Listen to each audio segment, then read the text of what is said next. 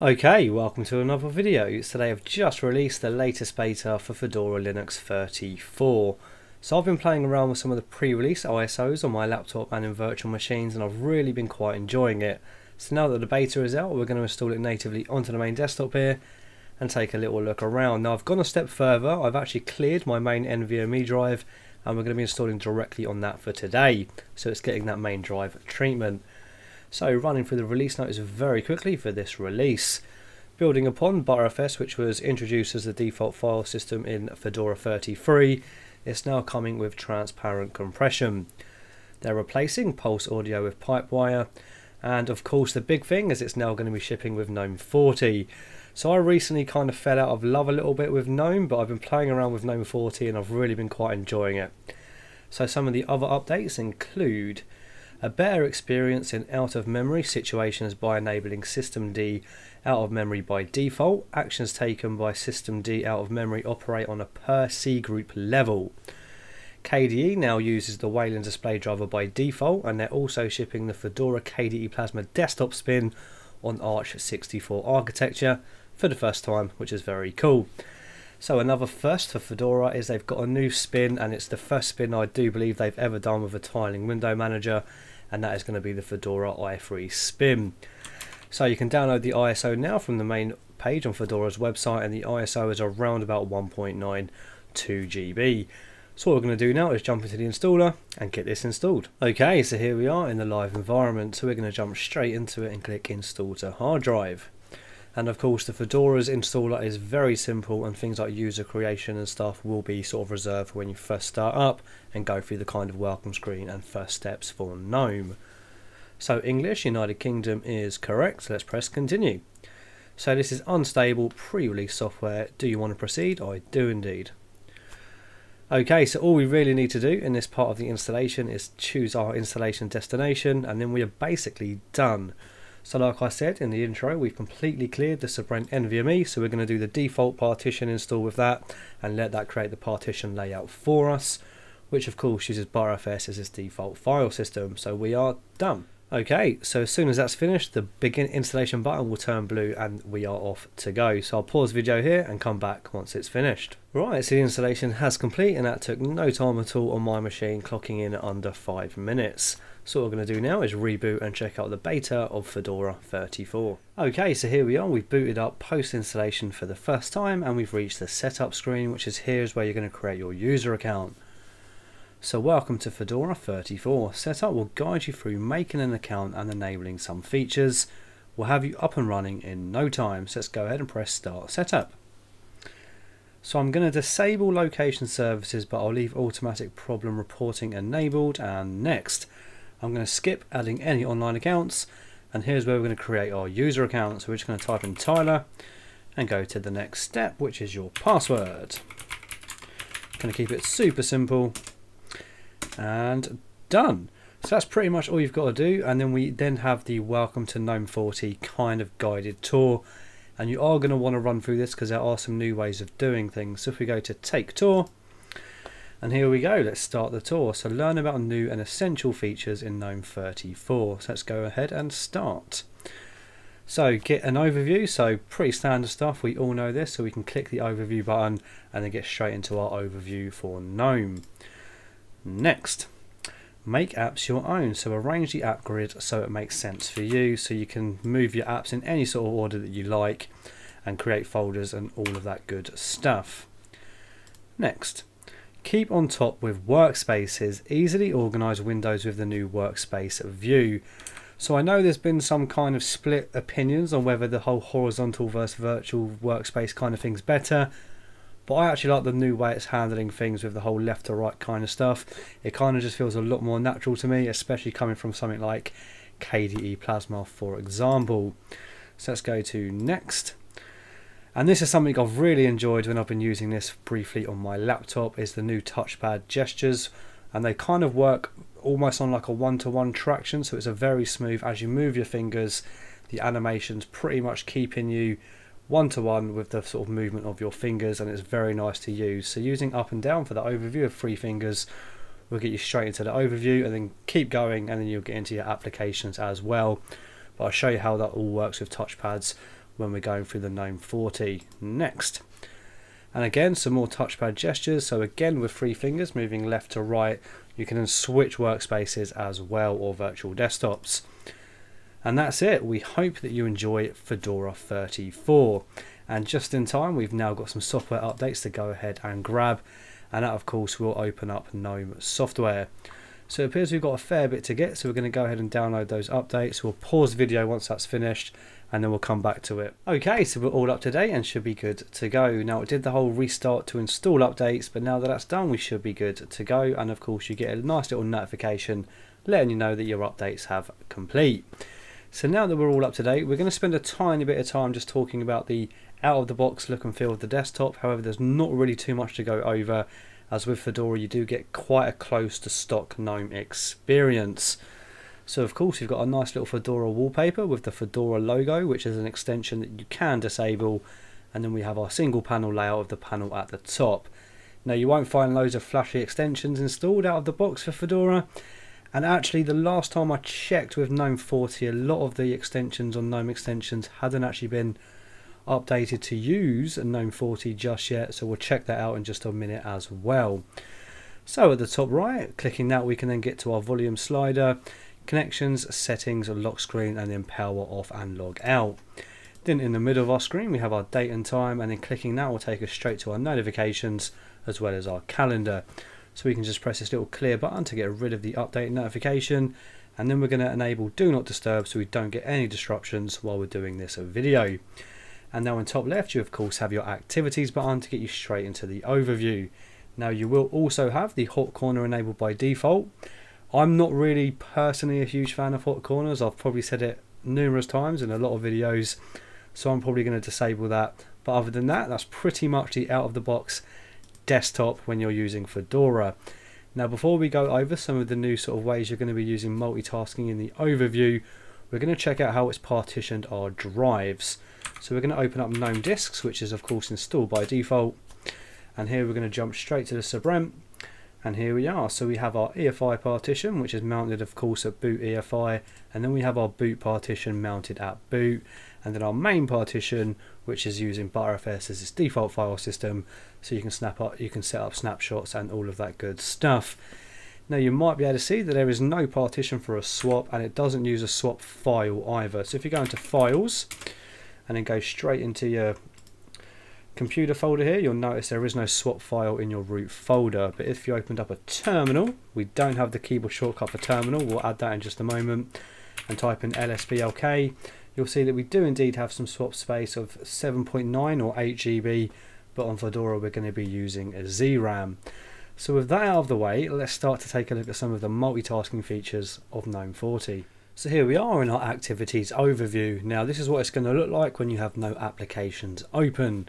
So you can have your search bar at the top, which of course you can type in anything and hit enter to launch that application. Or if you've got it pinned to your favorites, you can come down here and then open it from your little launcher here. So as we've got nothing open, you're going to have two virtual workspaces that you can go to and from using the keyboard shortcuts or you can also use if you've got a mouse plugged in and you're on a desktop you can use a scroll wheel now I do believe the default keyboard shortcuts for moving to different desktops is super and page up or down. But for me that doesn't feel super natural so I'm probably going to change mine now to use control left and control right. So we're going to go straight into keyboard and then we're going to go to customize shortcuts and then while we're here we're also going to add the shortcut for GNOME Terminal. So we're going to go into navigation and here you can see that the default shortcuts for moving to different workspaces has got super page up, which doesn't feel super natural to me when you're going in like a left to right sort of movement as opposed to an up or down. So I'm just going to go for control left and that's pretty much what I use regardless of what desktop I'm on. So it's nice and easy for me to transfer from one and get straight to GNOME 40 and the fact it's going left and right now makes that transition even easier. So we're going to do the same for right.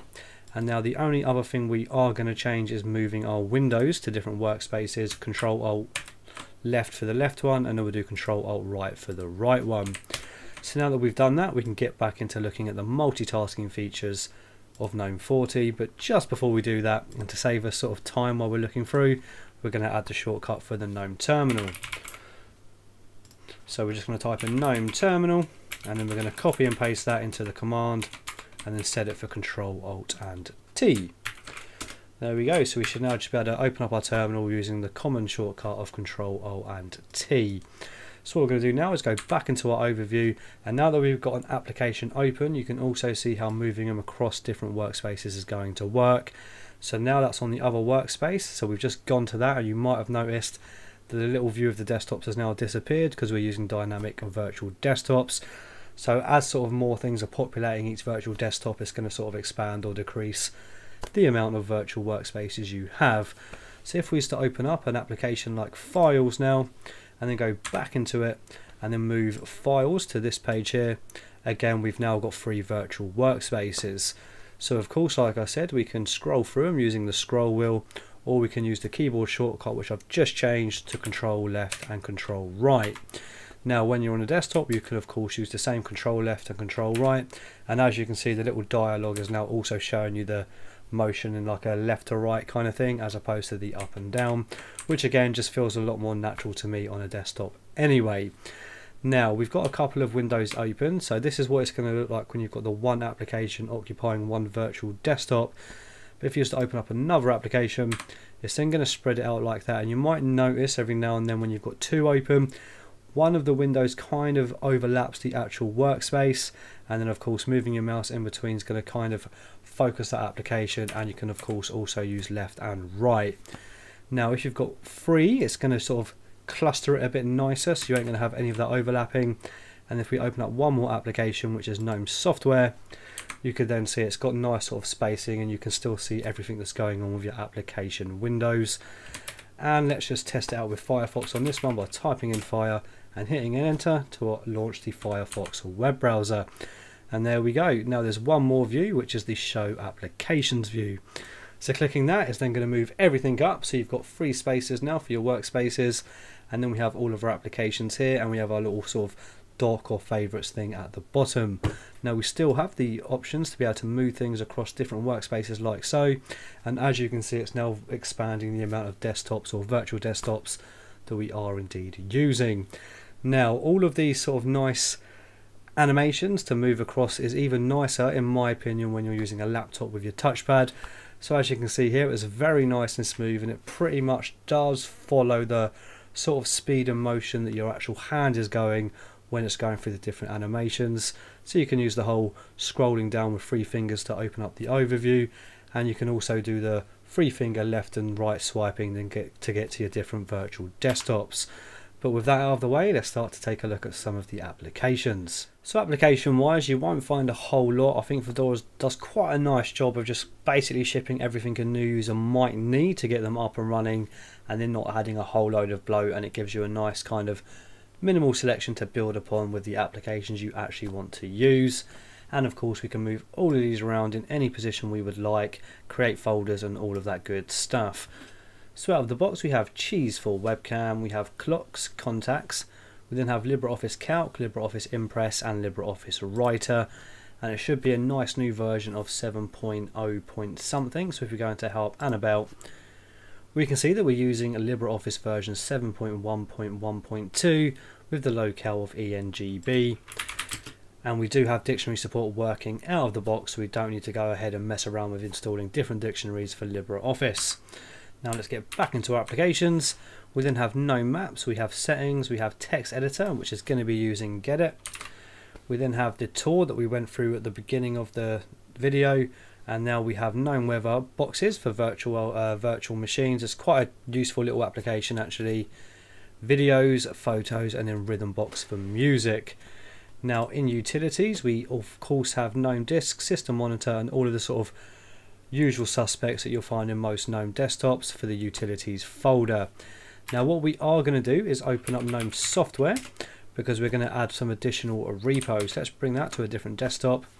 So as you can see, we've got the enable third-party repositories, which we're going to go ahead and do. And we're also going to go onto the flathub.org website to get the FlatHub repo to add that to our repos as well. So what we're going to do is open up Firefox and then go to flathub.org and then go to the quick setup for uh, Fedora. So we're just going to go straight to quick setup.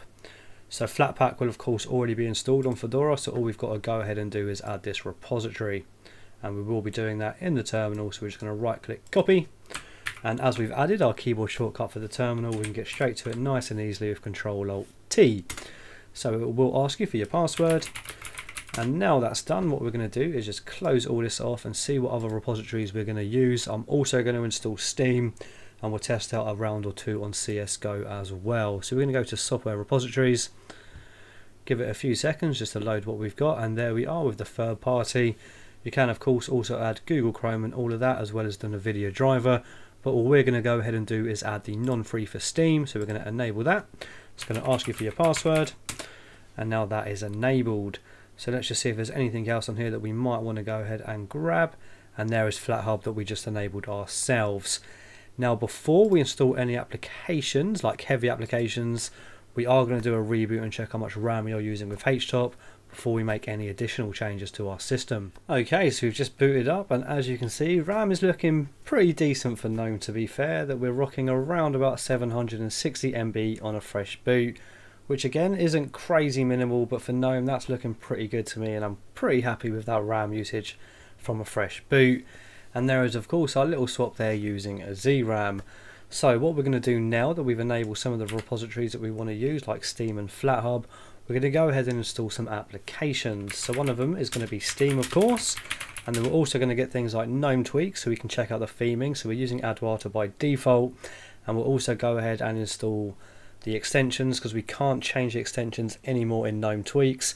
And then we'll also have a look at any of the extensions that are actually available now as well as seeing how theming is working. Because last time I checked a few of the sort of window themes that I was working with weren't really sort of ready to use GNOME 40 so we'll see if that's still the case with my favourite theme of course which is Arc theme. So we're going to grab Arc theme. We're also going to grab the Moka icon theme.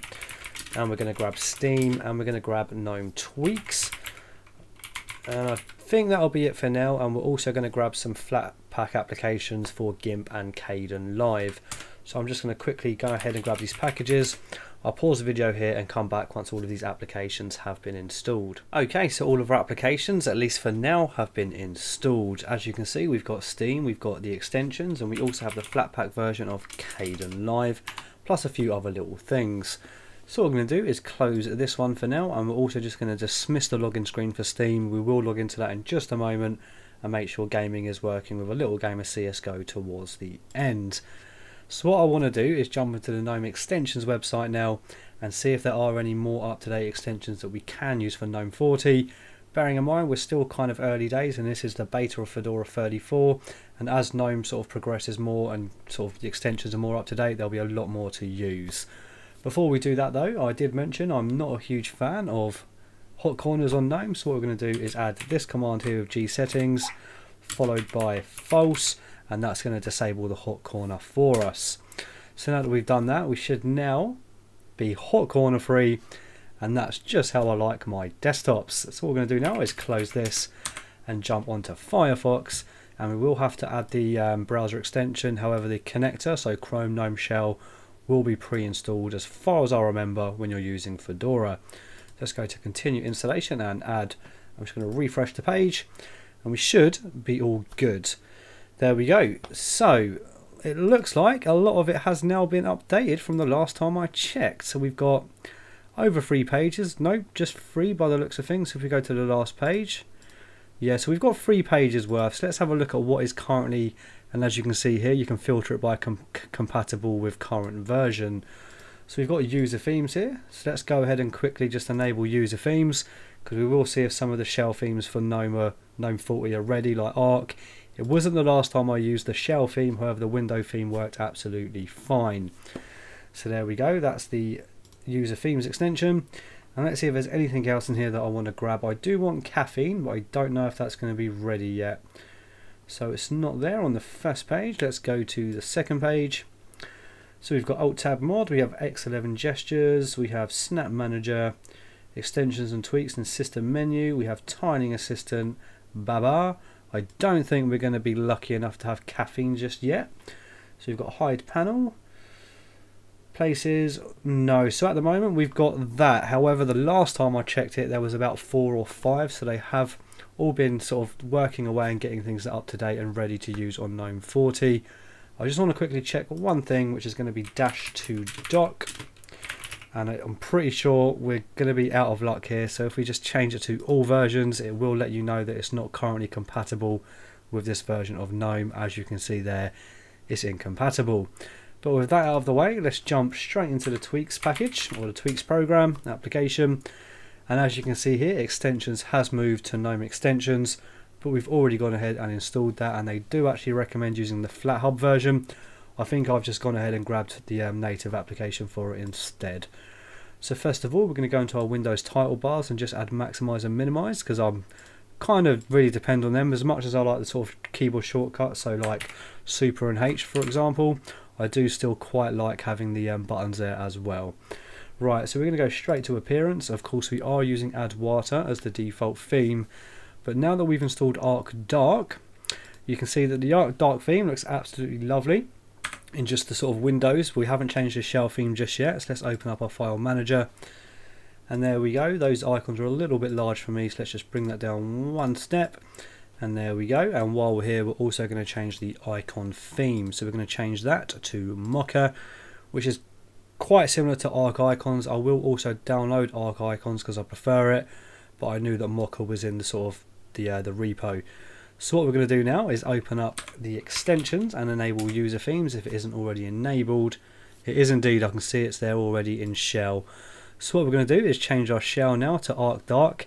However, I'm not too sure it's going to be ready to look quite as normal as you'd expect. So our top bar's changed quite a nice. Let's have a look at everything else. No. As I said, um, it's going to take a you know a little bit of time before these themes are sort of all nice and up to date, ready to use GNOME 40 by the looks of things. But there we go. So it's not looking quite right at the moment. We've got a weird little line border here and the dock looks a bit strange. So for now, I am just going to leave the shell theme on the default. And I'm not too worried about that. It looks still quite nice with the dark sort of panel with the arc theme anyway. So we're going to leave that like that.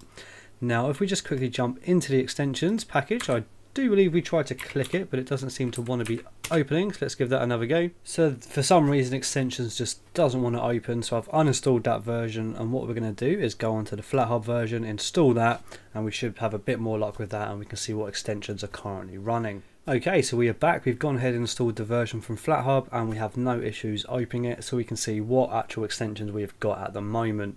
So manually installed, we have user themes, which is working absolutely fine.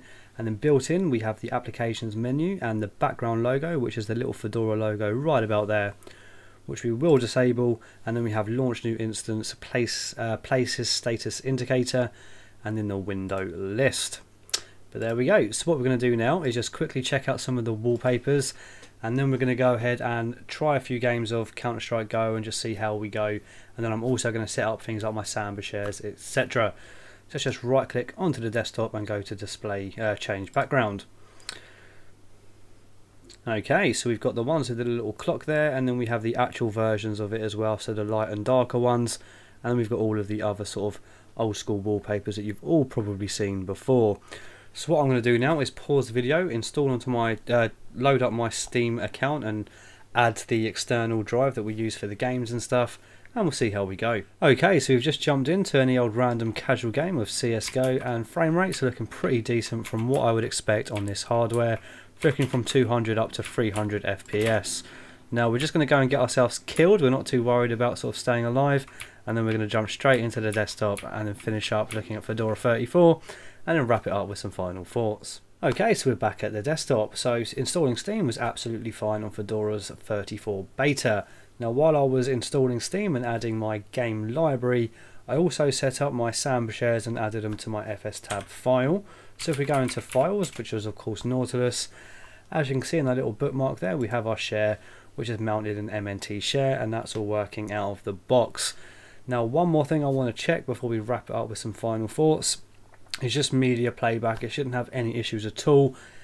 I can't remember if Fedora has everything that it needs to sort of mount exFAT file systems out of the box, but we'll check that out now. I'm pretty sure it does.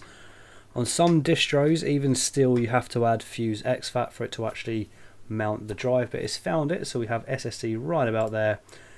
and then as we can see it has mounted it without any problems whatsoever so I'm just going to mute and we're just going to double click on the video and make sure it's all playing without any issues of playback there and of course it is going to open up in videos or gnome videos or totem I do believe it's called but there we go. So so far so good. And for a beta everything is very nice and snappy. And I'm very very close to deciding whether I'm going to use GNOME 40 as a daily driver moving forward. Right, so before we wrap things up with some final thoughts, as we can see here, the kernel version we are now using is Linux Fedora 5.11.8-300. And in the about information in GNOME, you can see that we are using Fedora 33, the workstation edition pre-release, and we are using GNOME version 40 with the windowing system, of course, defaulting to Wayland.